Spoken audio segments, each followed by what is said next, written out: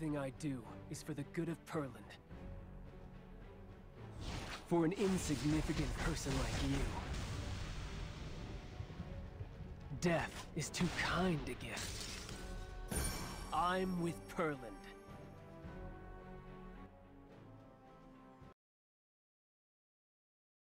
What's up, guys? So, I'm a bit late on this, I know. I don't follow Epic 7 too close anymore, but kind of want to check this out. Um, I did look at him a little bit. It's a pretty cool unit. Looks like he'd be fun to use. Looks like he's one of those fun to play units. Um, cleave unit, for sure. But, um, yeah. Yet again, it's another Mystic unit.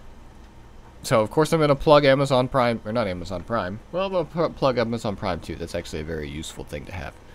But, um, the Amazon App Store, guys. I hope you guys are playing E7 on that. I've, I've, I've said it in every video I've put out, right? So you're, you're already doing it, right? You already know that you save up to 20% on purchases, right?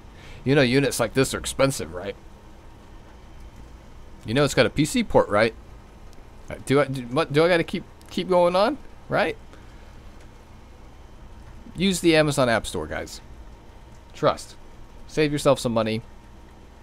Play it on PC. Avoid emulators. They're buggy. Some of them uh, put stuff on your PC that you don't want.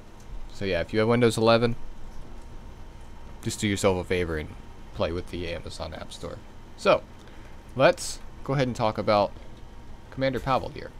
Let's go look at these base stats. I will say his design is sick. I like the whole like uh, the Commander-esque look.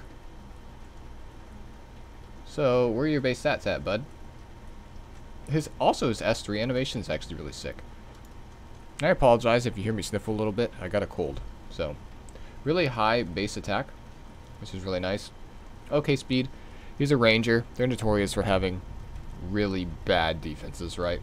Um, he's got crit, concentration here. Um, I do think he would be a lot stronger if he had a speed imprint, but uh, I think I don't. I don't think Smilegate wants us to continue down the cleave route, right? Um, cleave is kind of cringe. I think You can kind of add this unit to the cringe ranks, but he seems like he would be fun to play with. So moving forward here, got his skill one. Uh, his uh, skill two is a passive. Start of the battle, he he gains. He has fighting spirit, which is not very common for a ranger actually. After an out like after out sorry after an ally except for the caster makes a critical hit, he gains 20 fighting spirit. When fighting spirit is full, consumes all of it. To activate Be Gone, this effect is not activated by a counterattack, a dual attack, or extra attack. So if you get an extra attack and it crits, it doesn't count as two crits. Um, if someone counters, that that doesn't count as a crit. If that was the case, he'd be kind of busted, right? Like he'd be insane. You could probably build him more as a bruiser, if that was the case. Um, but it's not, unfortunately. Uh, but yeah, Be Gone is just like his, his skill 2 animation. Um, gives him an attack buff, and then he does his AoE, and then he pushes himself up 50%. Which makes that his low speed not matter as much. But keep in mind, um, when you AoE, it doesn't activate like this four times. It's it's one crit. You just got to crit one time. So like if, like they show in the video here that Athletica uses her S2, and it crits multiple times, but it only gives him 20 spirit. It doesn't give him 80 on four crits, for example. Um, if that was the case, he'd be busted. When I first read this, that's how I thought it was until I saw it in use, and I was like, okay, well that's that's not as bad, right? So you do need two units to go before him, and both of them need to crit for him to uh, activate his passive. Obstacle elimination. And when to activate, be gone. This effect is not activated by counterattacks, dual attacks, or extra attacks. Be gone increases attack of the caster for two turns, and attacks all enemies by firing a gun, before increasing combat readiness of the caster by 50%. But yeah, see how I just gained there? Skill And then this animation is so sick, by the way. Um, die, you fly. Okay. Attacks the enemy with a pistol. When enemy's not a leader boss monster, damage sharing effects are ignored. When caster's attack is greater than target's attack, so it's no another another one of those wishy-washy things. You know, like Hwayoung is like difference in HP, but like if the more attack you have on this unit, the more he's gonna pin your armor. So he's uh made to kill bulky units, right? He's he's essentially like a Watcher Schuri, but an ML like a, a more more practical one, right? Because ML Schuri doesn't boost himself up. Like he, has to be built kind of fast. This guy doesn't have to be built as fast. He could build him with more damage. Or Watcher Schuri just he, he's basically a ML5 version of Watcher Schuri, to be honest. His skill 3 even has a reduced cooldown like Watcher Schuri does. Uh, he's just kind of like updated version, I guess. Um, up to a maximum of defense pin of 70%. 4 turn cooldown if you soul burn it's 2. The penetration rate increasing proportional to the difference, up to a maximum of 70%. When 10 soul is consumed, this skill's cooldown is reduced by 2 turns. Skill 1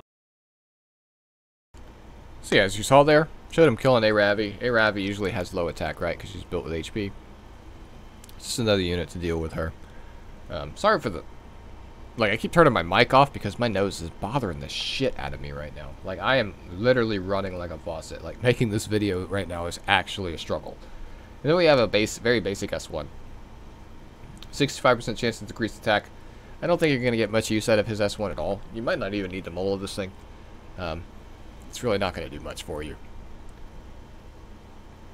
But, he's a pretty cool unit, I will say. I do like his S3. Commander Pavel through the Mystic starting September September 1st. Oh my god. Let me freeze on cool frame. Okay, yeah.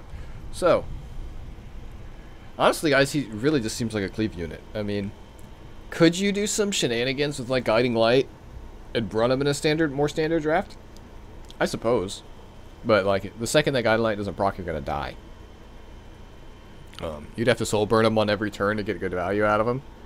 I just think he's a he's a fast-paced unit. And I don't know if you're going to use this unit over you know, like essentially like the the thing that I can compare this guy to the most is like CDOM, right? CDOM boosts yourself up with crits. Um essentially deletes a unit, but she brings her own book.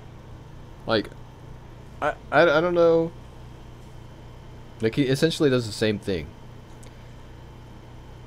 But he doesn't get the CR unless two people go. With CDOM, only one person has to go and crit a lot for you to gain a lot of CR, so... Isn't he just like a worse CDOM? Like, uh, he'll probably hit harder with his S3. But... Essentially, he does the same thing she does in that role, right? So now you gotta ask yourself, is this unit worth $500 to do what the CDOM can do? Essentially, they do the same thing. He ignores damage sharing effects, so it might be easier to kill a tank with him.